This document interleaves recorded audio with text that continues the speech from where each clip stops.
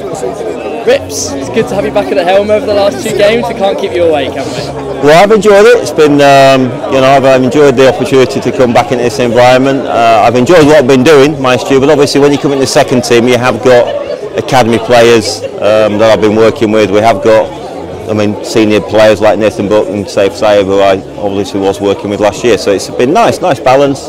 I thought it was a really cracking game of cricket as well, which is probably the most important thing.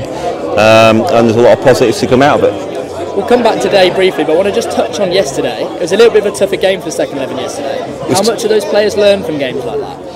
Well, good. Certainly, we talked about the power play, and we came out and immediately had a better power play. So that was one good thing. We talked about extras yesterday, and we had a better extras uh, column today. So two things that we turned around instantly, which was great. But they, yeah, they were a very strong side yesterday. A lot of experience, a lot of guys that probably helped them win that 50 over comp last year. Um, and we were just a bit short and it was it got one-sided when they get that many and then we fall behind you know you, you can have those games but uh, really pleased how we did turn around the power plays from yesterday to today and the extras so that was positive was that something you spoke about about specifically making a change to today because it looked like a bit of a different side no it was it was and but obviously not everyone played both games so we, it was a mix and match but we shared what we talked about yesterday with the guys today and we cranked up. You know, we were disappointed with our extras column. We give free hits away yesterday. We had no free hits today. They say we were 70 in the power play where we were 30 odd yesterday. So that's instant reward. Uh, and the lads, you know, the power play was very, very good. Exceptional cricket shots. No real great risk, but just a bit more positivity. And uh, and we bowled a lot better in the power play too and obviously the result is brilliant, but it's been a great atmosphere here. It has. How good has it been? It's been absolutely unbelievable. You know, I thought a game against Grenada, the county ground, would be one man and his dog, um, but it's been very atmospheric. This the whole tier here was full. It's been, it's been a really good day, and credit the club for not just putting the game on, but putting an event on, which is what it's turned out to be.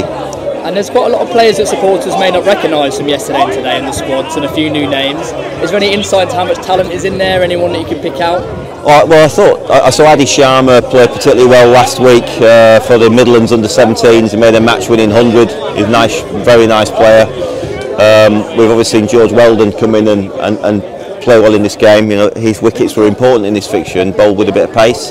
But there's a whole glut of them. You know, it's just the, the key. The next step is I, I was thinking about David Willey with this because David Willey was a good cricketer. He batted, he bowled, he was a competitive, he great fielder. But was he? destined to be definitely be a first class player and it, you know I wasn't sure at 15 16 but he when he got to this level he just took a step forward rather than taking a step back and I think that's the next the next thing for these lads is to when they're in this situation you know can they flourish and grow and they only know by giving them an opportunity so that's what we do